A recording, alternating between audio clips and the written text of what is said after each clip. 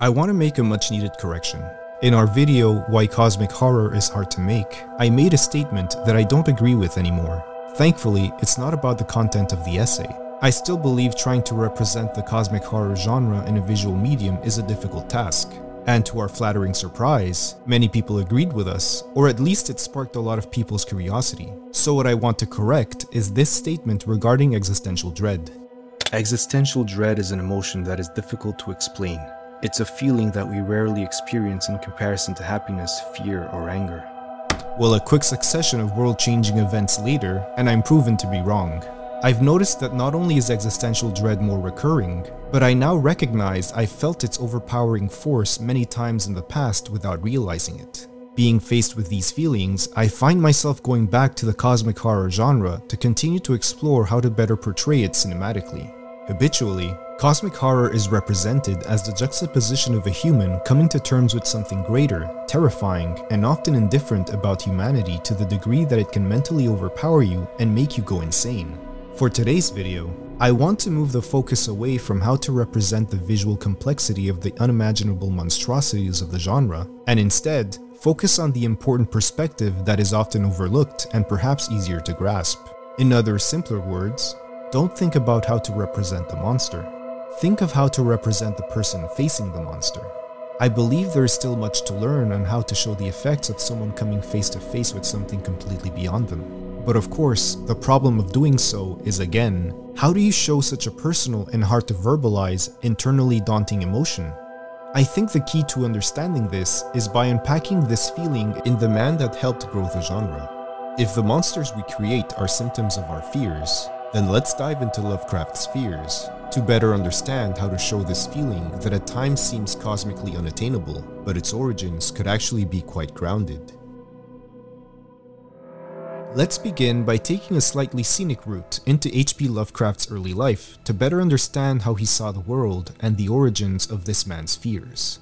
Howard Phillips Lovecraft was born at the tail end of the 19th century in Providence, Rhode Island, to a well-to-do family that could trace its lineage to the first New England colonies. While he was still very young, his father was institutionalized and died of syphilis. His mother was overprotective of him after her husband's death, but didn't show much affection towards her only son, even belittling him often regarding his physical appearance. H.P. Lovecraft was very smart and learned to read and write early on, his maternal grandfather fostered the boy's love of reading and even introduced him to gothic horror. They all lived at his grandfather's family home. Eventually, their initial monetary largesse was thinning, and once Lovecraft's grandfather died, he and his mother had to move away because a house upkeep would be too expensive. I mentioned this because it kicked off one of H.P. Lovecraft's darkest periods. He had even contemplated committing suicide when his grandfather died. Without going further into his background, we can already see many elements that could seriously impact any person's mental health. Some aspects we know from his letters, others we can infer on. But one thing is for sure, Lovecraft didn't have it easy, and it affected the way he saw the world. Imagine being in his shoes, being told that you're ugly and weak by the person who is supposed to love you unconditionally, and growing up with that complex. Being sick and separated from others your age, and even though you're smart and adapt, you've missed out on so much. Although it's not known if his mother ever told him, potentially knowing that your father was committed because he went mad, and developing a phobia around the possibility of having a mental illness, losing the one person who understood you and encouraged you, and then isolating yourself from the world, mixing your limited sheltered life experiences with what you read and what you've heard. Lovecraft was a product of the era he lived in. His context, his love for the days of the past, the 18th century, and his stunted growth might help explain why he was such a xenophobe. Yes, by the end of his life, his views had softened, but for a long time, he held very racist beliefs. His fears influenced his beliefs, and it defined the way he saw the world, and it seeped into his writing. His bleak outlook on life, his fear of the other while residing in an evolving world, the fear of going mad, they very much could be represented by the many indifferent horrors he created, and in the ways his characters reacted to being faced with such horrors. H.P. Lovecraft had a very specific way of writing, a Baroque style closer to the King James Bible than to anything else written in the early 1900s. Just listen to this passage from The Shadow over Innsmouth, I seemed to know that its seething mutations invited me down impious vistas beset with foul legions of the malignant and the blasphemous. to realms where the moon was a sinister ellipsoid, sucked wantonly from space, at the throbbing of bass drums behind the arrows of madness. I seem to know also where the old ones broke through of old, and where they shall break through again. A lot of what Lovecraft wrote is about mood, ambiance, the psychology of someone coming face to face with something terrifying. There's vivid imagery, a palpable sense of unease, the sense of impending horror. Having looked at Lovecraft's upbringing, it wouldn't be a stretch to believe that he might have suffered from some type of anxiety disorder, which would explain why he had such a handle on describing a character's dread.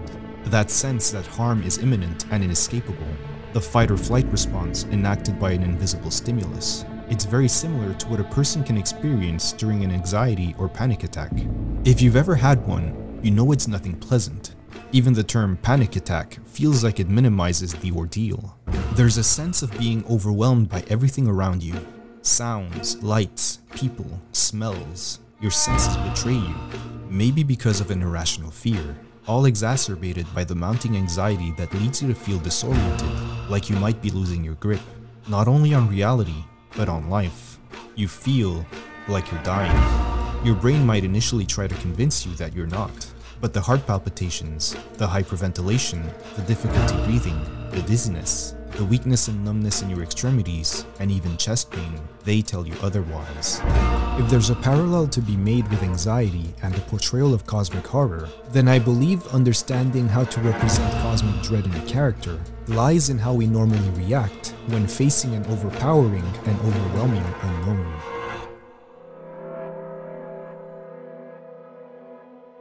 As we've mentioned before, translating the psychological aspect of cosmic horror onto the screen is not easy. Barring the use of voiceover to narrate what a character is going through, or what the ambiance is, most of the storytelling has to come from nonverbal performances, or visuals, or even sounds. We'd like to take a look at certain scenes that make us relate to characters as they replicate some of that sensation of being overwhelmed. Although the scenes might not come from movies or shows that are considered to be cosmic horror, they are good examples to follow on how to communicate personal mounting dread. Let's start off with a simple one.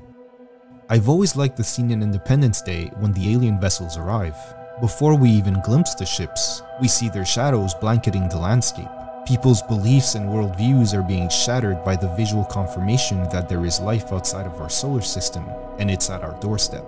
Some freeze, forsaking personal safety, some panic, some run. Chaos is everywhere. Here the sense of dread or impending doom is caused by scale. The weight and significance of your powerlessness is visually evident. You and everything around you is confirmed to be as important as an ant. The film Gravity also plays with scale by showing us the dangerous realities of space within the first few minutes. Pieces of debris are flying towards the explorer's crew, the lack of sound from the numerous impacts, the frenzied communications between the astronauts and mission control, the continuous, uninterrupted, and dizzying camera movement around the scene, they all serve to put us in the protagonist's headspace as she is hurtled away into the void of space. By how increasingly small she's getting, the more you have a better understanding of how terrified she is. The Battle of the Bastards from Game of Thrones is a great example on how to edit someone being overwhelmed in a suffocating fight.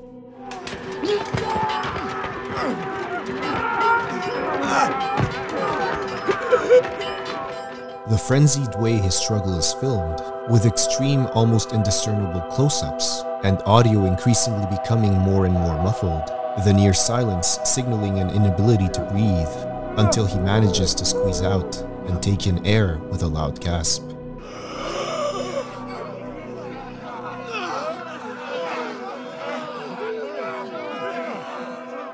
But there is a scene that in contrast doesn't need to be extremely dynamic to capture an overwhelming sense of dread. Just look at this small moment in Chernobyl, when one of the scientists is forced to look into the recently erupted nuclear reactor. The camera pans out as he marches reluctantly. Then it pushes in, keeping his reaction from us. You would expect a look of horror or signs of a breakdown, but his reaction is even more minute.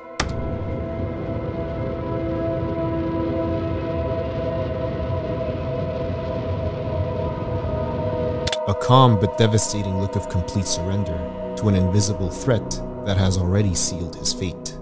An example that uses mainly light and an actor's reaction can be found at the end of the lighthouse. The younger Thomas climbs the steps to come face to face with the light. When he reaches out to touch it, the light's brightness grows, erasing the black streaks of blood on his face. We don't get to see what he sees, we are only witness to his entranced expression. The eerie music gets louder and distorted by Thomas's screams that started off out of ecstasy but are now full of pain and horror. The power of what he has seen and experienced makes him fall down the stairs and eventually he's left bloody, naked and blind to be pecked apart by the birds. But I think my favorite example of being overwhelmed by an overpowering force is in 2001 A Space Odyssey. When the monolith reaches Jupiter, there is already a sense of foreboding due to the primal chorus in the soundtrack.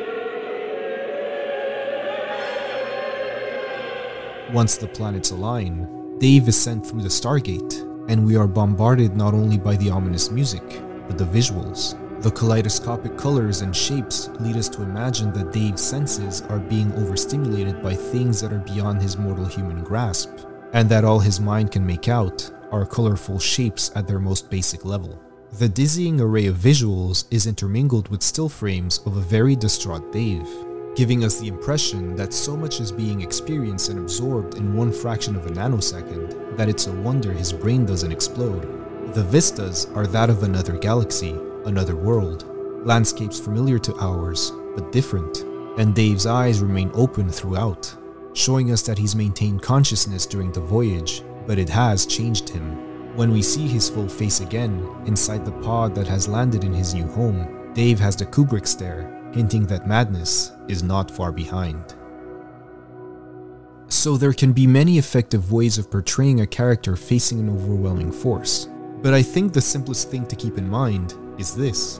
As H.P. Lovecraft put it, the oldest and strongest emotion of mankind is fear, and the oldest and strongest kind of fear is fear of the unknown. For Lovecraft, the unknown could have been familial relationships, people in general, or the possibility of mental illness waiting for him around the corner.